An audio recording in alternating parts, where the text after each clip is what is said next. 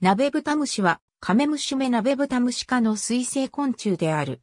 体長8.5から9ミリメートル、幼虫では1例幼虫で2ミリメートル、5例幼虫で7ミリメートル。幼虫の形や色は成虫によく似る。羽の退化した単羽型と長羽型があり、長羽型は稀に見られる。遊泳用の付属詞が密生した後足を持つ。渓流に住み砂底や岩底に多く見られる。また、発電用水路で発見されることもある。ほの毛が密生した毛板を体表に持ち、ほの毛の間に空気の層を形成する。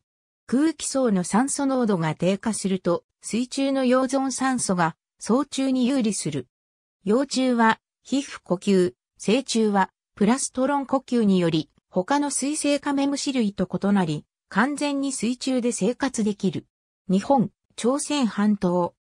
川を止水すると水中の溶存酸素量が低下するためプラストロン呼吸を行っているナベブタムシには大きな影響がある。これ以外にも河川工事による大量の泥の流入による生息場所の破壊、農薬や洗剤などによる水質汚濁などにも影響を受けている。主に長野県の稲谷で食用とするザザムシには、この鍋豚虫が含まれることがある。日本に生息する同族の種は本種を含め3種である。AB これは本種に限ったことでなく、鍋豚虫科全体に該当する、ハット ABCDEFGHI、日本産昆虫学名和名辞書。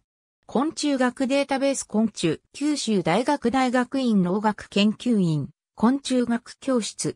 2018年11月13日閲覧。ABCD、新低原色昆虫大図鑑3北流館2008.1 25新定版初版 176p ISBN 978から4から 8326-08276ABCDEFGHI 川の生物図鑑リバーフロント整備センター